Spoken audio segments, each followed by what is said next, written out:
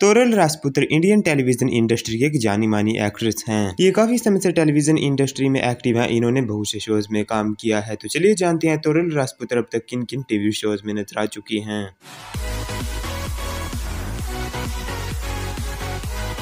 तोरल राजपुत्र ने अपने टेलीविज़न करियर की शुरुआत 2007 में की थी। सबसे पहले सोनी टीवी के सीरियल रिश्तों की डोर में शहना का रोल करती नज़र आई थी, जिसमें कि इन्होंने एक स्पोर्टिंग रोल किया।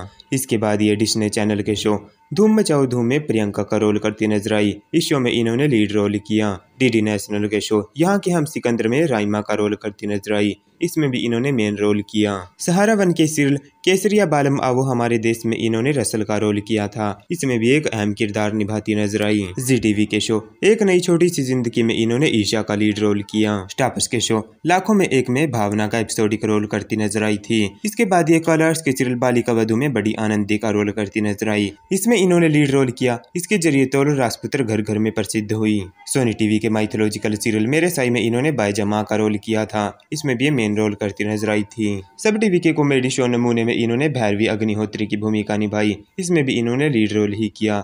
कलर्स के सीरियल उड़ान सपनों की में चकोर का रोल करती नज़र आई थी। इसमें भी इन्होंने मुख्य किरदार निभाया। स्टार भारत के सीरियल जगजननी माँ वैष्णो देवी कहानी माता रानी की में इन्होंने महारानी समृद्धि की भूमिका निभाई। इसमें भी एक अहम रोल करती नज़र आई थी। तोरल राजपुत्र कलर्स के सीरियल मोल्की में साक्षी का रोल करती नज़र आती है। इसमें भी इन्होंने एक मेन रोल किया है।